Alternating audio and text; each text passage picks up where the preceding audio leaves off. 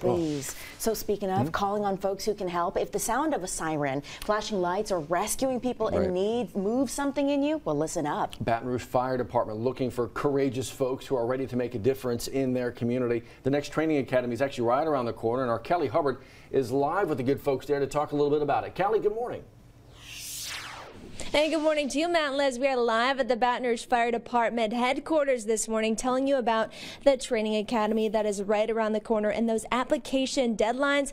They are coming up next month. Believe it or not, we are almost in 2024 and we have Miss Amy Fowler. She is a medical training officer here with the department. Good morning to you. Good morning. And I see you have a lot of folks behind us as if this is a class going on because if a lot of people are watching this morning, a lot of people may not know how many medical calls happen right here in our part of the world? Um, so here in the Baton Rouge area, Baton Rouge Fire Department total call volume, we run about 75 to 80 percent of our calls are medical. Um, typically, the fire department is the first responders. We're first on scene and we're there to start care to, until EMS is able to get there and take over and start ALS care. And these are one of the many things that you're able to learn when you join the Academy. If you kind of want to walk us through what's all happening behind us. Sure. So when you join the Academy, the first nine weeks of the Academy is obtaining your EMT certification. So within that nine weeks, we will teach you adult and pediatric CPR.